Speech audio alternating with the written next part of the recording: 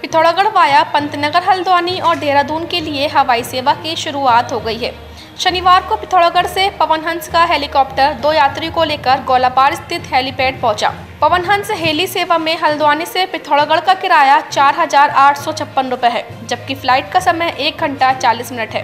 हवाई सेवा शुरू होने पर यात्रियों ने खुशी ज़ाहिर करते हुए इसे जरूरतमंदों के लिए बेहतर कदम बताया है। इस दौरान एसडीएम हल्द्वानी मनीष कुमार सिंह ने बताया कि पहले दिन पिथौरागढ़ पाया पंतनगर दो यात्री हल्द्वानी पहुँचे हैं। हेली सेवा रविवार को छोड़कर सप्ताह के छह दिन संचालित होगी। उम्मीद है कि हेली सेवा से दूर दराज क्षेत्र के लोगों को फ़ायदा होगा। अच्छा एक्सपीरियंस था नीडी लोगों के लिए बहुत अच्छा था। जी। ये है कि टाइम से पहुँच जाना जैसे किसी को ज़रूरत हो अच्छा एक्सपीरियंस था पहाड़ में हेलीकॉप्टर पहुँचना दूर दराज इलाकों में लोगों का आना जिस तरह की शुरुआत की गई सरकारी तरफ़ से क्या कहना चाहेंगे इसके?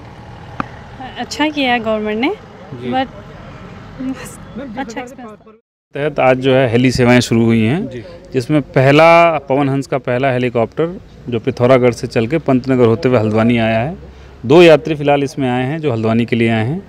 कल अवकाश है इसके अलावा हफ़्ते सप्ताह में छः दिन ये सेवाएँ शुरू हो चलेंगी और उम्मीद है कि इससे लोगों को काफ़ी जो है मदद पहुंचेगी।